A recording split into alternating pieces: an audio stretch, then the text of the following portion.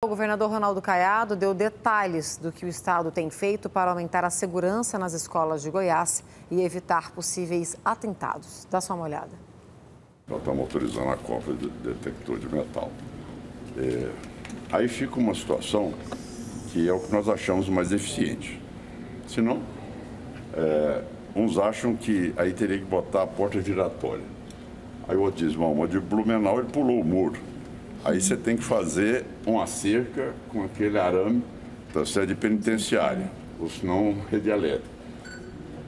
Daqui a pouco o pai não sabe se está levando o filho para um, um colégio ou se está levando o filho para um presídio, porque realmente fica uma coisa que você não sabe qual vai ser o psicológico dessa criança. Então tudo isso está sendo tratado também, as coisas não, não se tem uma resposta imediata de algo que realmente é, ficou de forma difusa no Brasil e que, graças a Deus, é, a Polícia Civil conseguiu é, abortar essa ameaça lá de Rio Verde, o jovem está detido, a de Santa, a de Santa Teresa, tá certo? O jovem também está detido. E ah, os ferimentos, graças a Deus, foram cortes mais superficiais e não teve nenhuma perfuração mais grave, que todos também estão fora de risco. Tá?